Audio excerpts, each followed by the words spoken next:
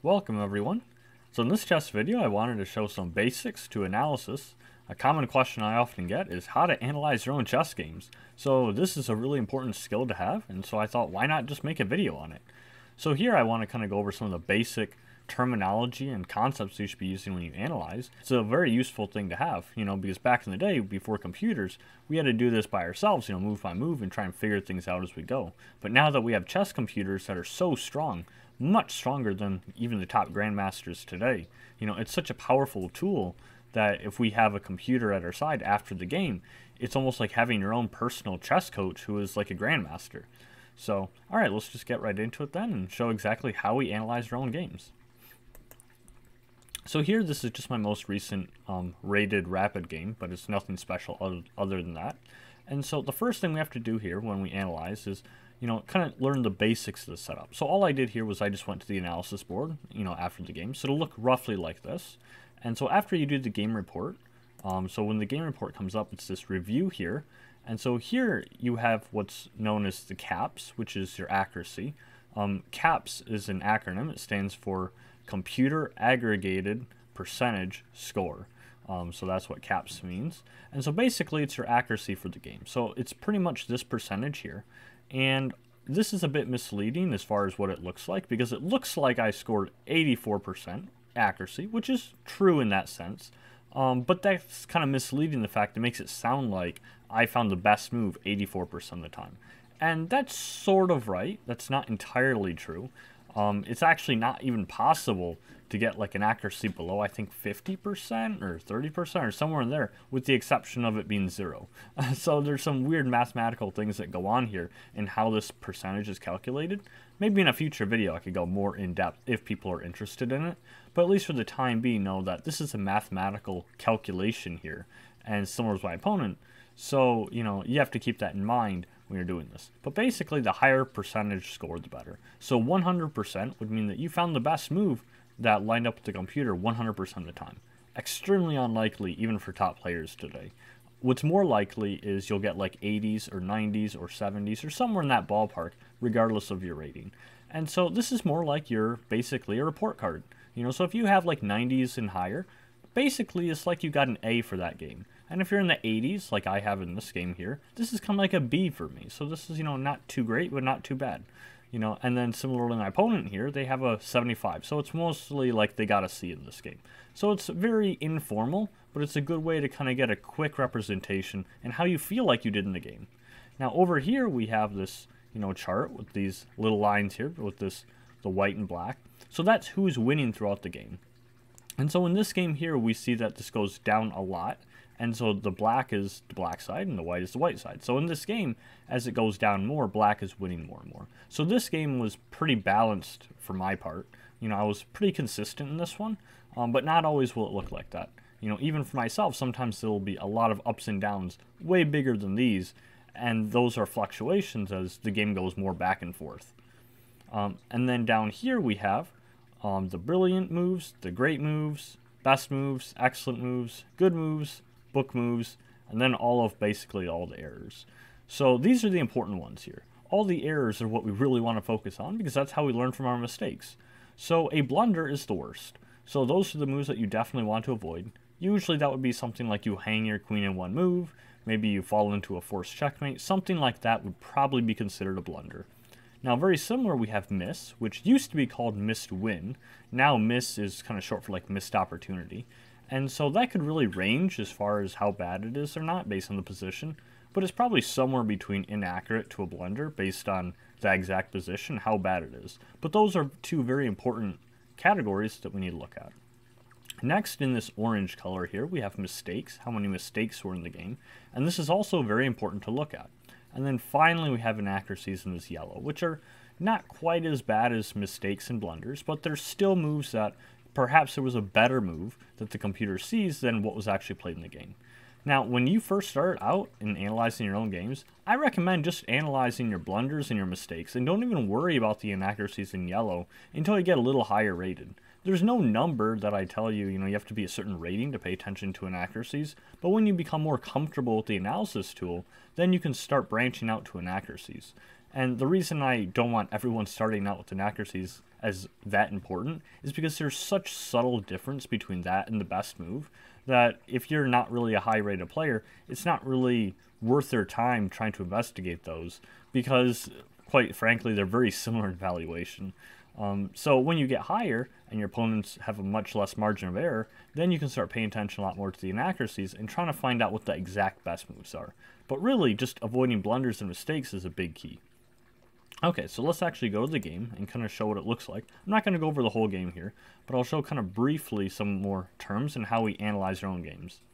So here, um, the first few moves, all these will be book moves, which is opening theory. So this is the little book icon here. And like I said, I'm not going to go through all of these, but you know these will be book moves for quite a while. And then somewhere in the middle game, I'll just click somewhere here.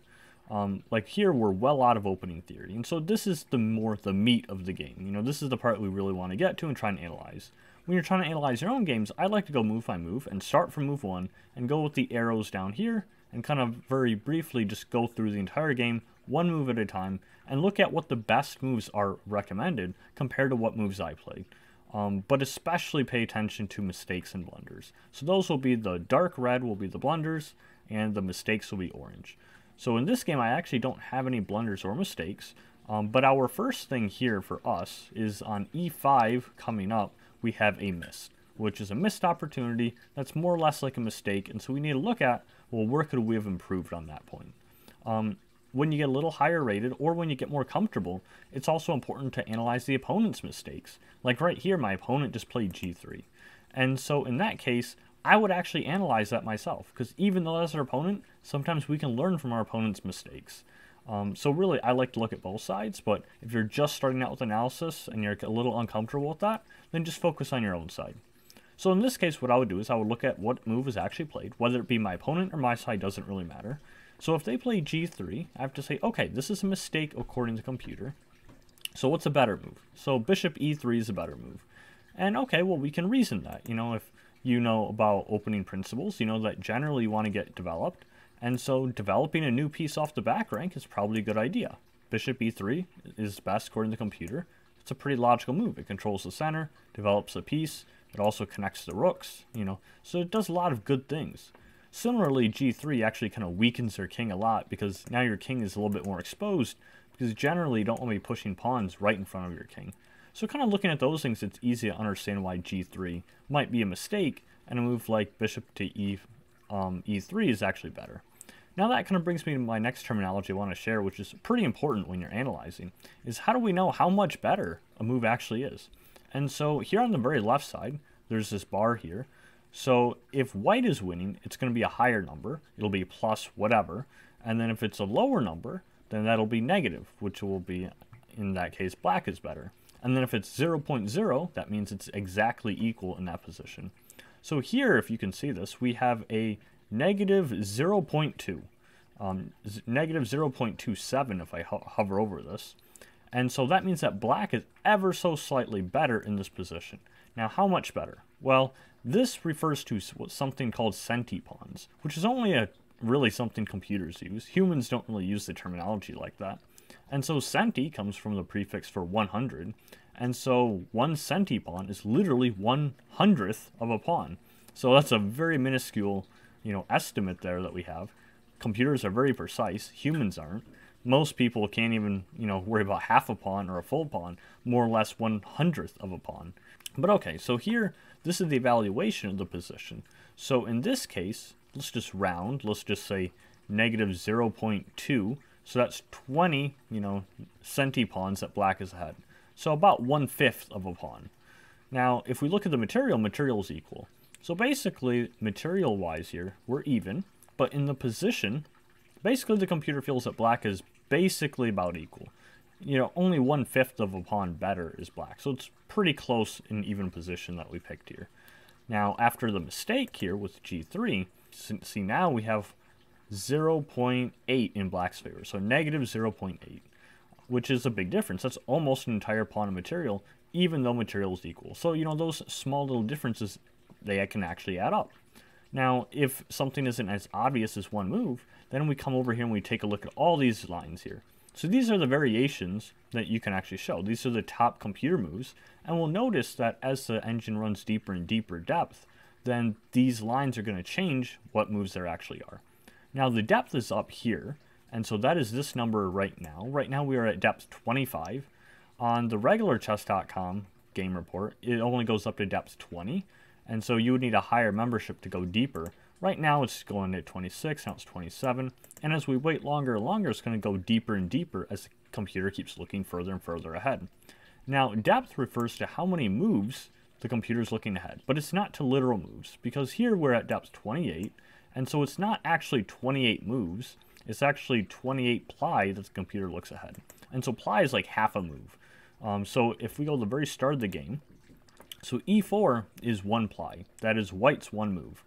And now if we play a move like c6, well, c6 is black's first move, but that's their second ply of the game because this was one move. Sorry, not the king.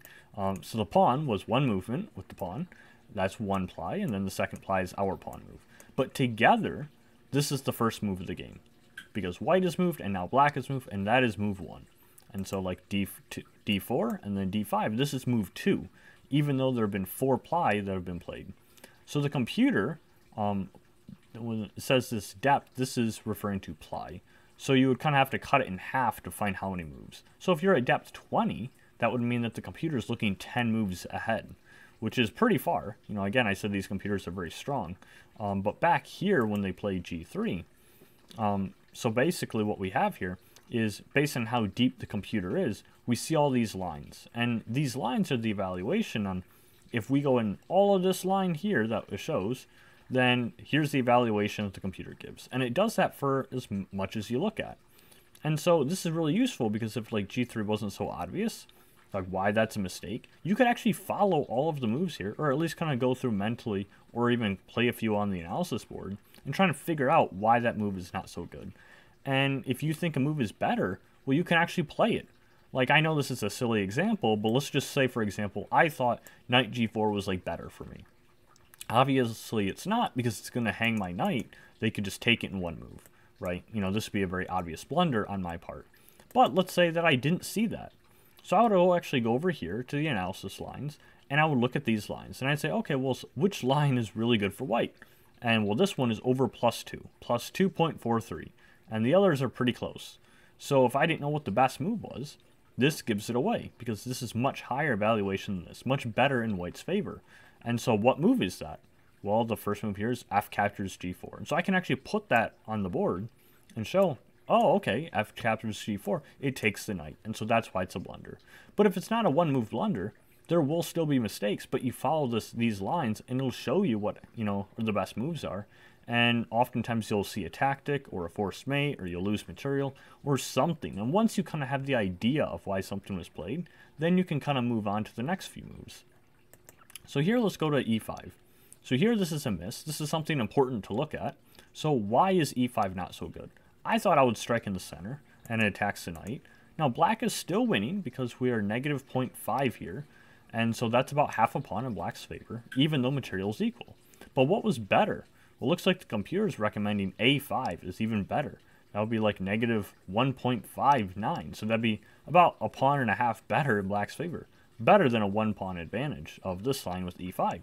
So what's the difference? Well, this might be a little more advanced to figure out, and if you're a higher rated player, maybe you can understand this. But even if you're not a high rated player, just having the computer, it can literally tell you if you follow these lines. And so I think with a5, the idea is, is that whenever we play a5, we actually have a real strong threat of playing a4. And that's going to kick the knight back, and that's actually a really annoying move for them. Whenever we play a5 here, they probably want to stop us from advancing this pawn. So how would you stop it? Well, probably a4 comes to mind. But the problem is here a4 they can't play because then that would take the knight for free. Because that would remove the defense of this knight from the pawn.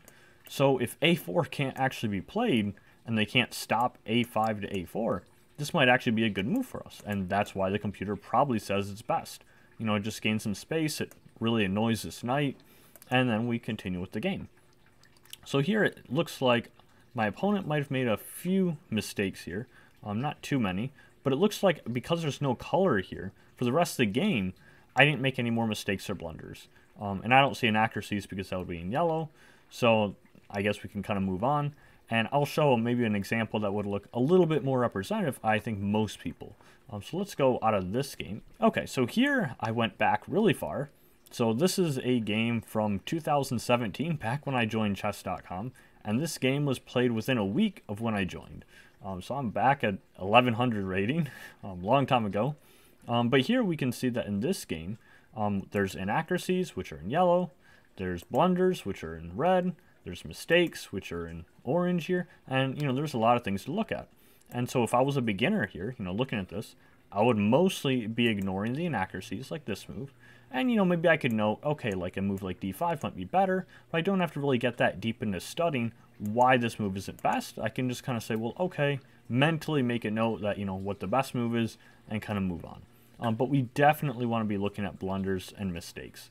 And so here, the first blunder that we played was rook to d8.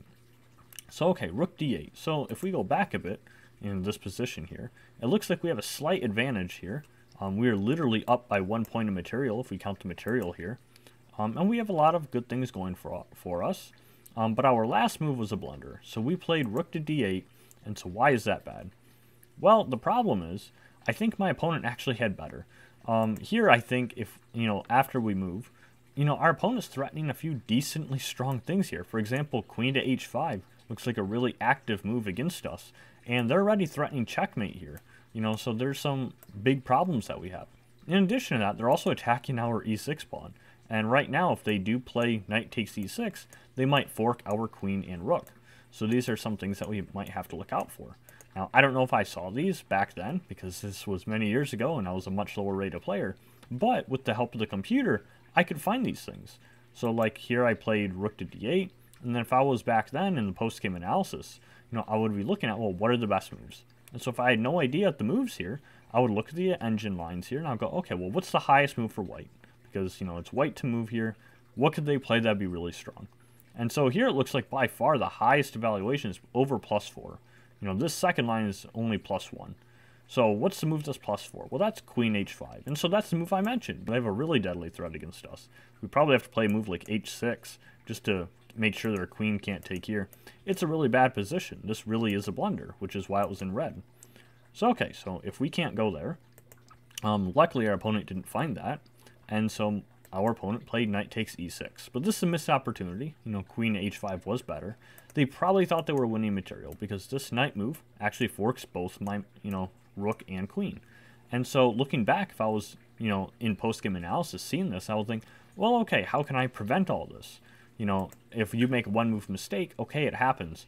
Um, but not always is it literally the blunder that actually costs you the game. Sometimes it's a few things a little bit before the blunder. And so, could I say that I blundered one move, I played rook d8, and that wasn't good? Yeah, I could do that. But maybe I could also say that, you know, the best move here, queen to h5, puts a lot more pressure on my king. And really, how many pieces are defending my king? I don't really see any. I mean, my rook is kind of far. My queen, knight, and bishop are all on the wrong side of the board. You know, so maybe one mental note I could make to myself is maybe my opponent can actually generate an attack on my king if I don't really have any defenders nearby. And so maybe in the future, I'll just kind of have that in the back of my mind and think, hmm, okay, if they have attackers near my king, especially if they have a lot more attackers, maybe I should try and get some kind of defenders near my king. And try and turn every little thing you see into a lesson of why you think that last move was a blunder or why you fell into something. And the more mental notes you make like that, then the better chance you have of improving later down the road because you, it's just repetition, you know. So if you notice the same pattern over and over, where like for example you keep getting checkmated because your king is in the center of the board, maybe you'll learn I should get castled earlier so my king is not in the center. You know, if you hang a lot of pieces in one move, then consider maybe I should keep my pieces better defended. So you know that way, if they are captured, I can recapture with something. Or you could think, well, if I'm hanging a lot of pieces, maybe I should just kind of do like a little double check thing where right before I move, I double check before I move just to make sure it's not a blunder. So little things like that. And eventually over time, you get better and better at it. Um, but okay, but let's go back here because in this blunder situation, what did I do? Well, my queen was under attack and I probably saw my rook was going to be lost. And so I tried to be tricky here and I tried to capture their bishop so that if they take my queen with the knight, well, I can take their queen with my rook. Now the problem is here, that's a blunder because I actually missed something. Um, so they can take my rook, and then I actually played e3. Again, this is a mistake, but this will be common because a lot of times people are analyzing, you'll make many things wrong in a row, you know, a string of blunders and mistakes. And so this is why analysis is important. It really helps you understand the moves better so you can improve. So here, what should I have done? Well, I should have tried to defend. I should have kicked this knight out and, you know, try and keep their queen from getting near my king. But here, when I played e3, again, you know, I noticed my queen was attacked. I was probably hoping for them to capture my queen so I could capture their queen, you know, and the game continues.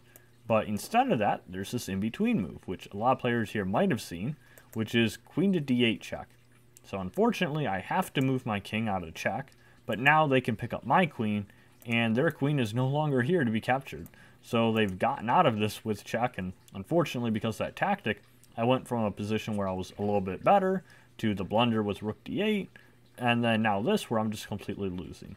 And eventually I did lose this game. Is analysis time consuming? Well, yeah, it does take time. But it does get easier as you have much more practice at it. So the more that you play, you know, the more that you analyze, it's a skill like anything else, you'll get better at it. And when you first start out, it might take you, you know, 10, 15, 20 minutes to analyze a game, maybe longer. But as you get better, it might start taking 5 minutes and 10 minutes, and eventually it'll only take you a few minutes to analyze an entire game, and you'll get a lot out of it. Um, so kind of going back, you know, to the general concept, whenever there's a move that is something that the engine says you should take a look at this, you know, a blunder, a mistake, something like that, anything that's colored like this, you know, you want to be looking, well, what is the best move the computer's recommending? You know, how can I improve? And similarly, what was my mistake? Like, why is this actually a problem? And, you know, what can I do to prevent that in the future? And you just do this over and over and over, and eventually you learn from your mistakes so hopefully that helps everyone. Um, I just want to make a video to kind of help people learn how to analyze with an engine. It's a really useful thing to do. Um, probably if I have to pick one thing that really helped me improve in chess, I'd say analyzing your games is probably the number one thing. It's really important you do that because it prevents you from repeating the same errors over and over. And analyzing your own games is even better than Grandmaster games in some sense because although those players might play at a very high level, you know, your games are tailored to your own mistakes, your own tactics, your own everything because it's your game. And so it's very likely you'll get similar stuff in future games because that's literally how you play. So analyzing your own games afterwards and learning from those mistakes can really help you a lot down the road. So thanks for stopping by everyone. Hope this video helped you. I'll see you in the next one.